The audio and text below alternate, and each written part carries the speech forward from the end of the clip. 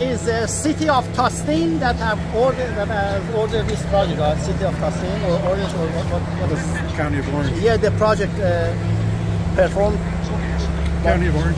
Oh, County of Orange, County of Orange, okay, County of Orange. Because in my channel I need to write Uh, I'm all American asphalt for for uh, So this is for the County of Orange. uh, County of Orange. County of This is uh, incorporated uh, Ana Heights, uh, part of Tustin. Ah. Uh, Tustin is like certain areas part of uh, in the County of Orange. This is all in the corporate area. County of Orange, okay. And the company's name is All American Asphalt, right? Correct. Okay, County of Orange. Perfect. Thank you, thank you.